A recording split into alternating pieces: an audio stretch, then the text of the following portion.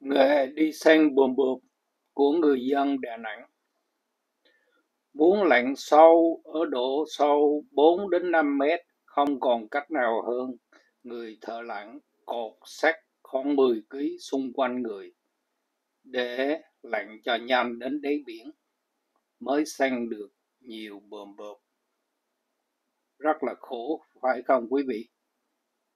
Công việc rất là khổ, rất là nguy hiểm nhưng cũng vì cô áo gạo tiền, không còn cách nào hơn là phải lặn biển mỗi ngày, phải tìm ra đồng tiền, nuôi bản thân, nuôi gia đình. Một ký bùm bụp, các anh bán được ba ngàn rưỡi đồng. Trung bình mỗi ngày đi làm công việc nguy hiểm này, các anh thu nhập được 300 đến 500 ngàn đồng trên một ngày nhìn vào cảnh này mới biết thấu hiểu giá trị của đồng tiền bạn ra.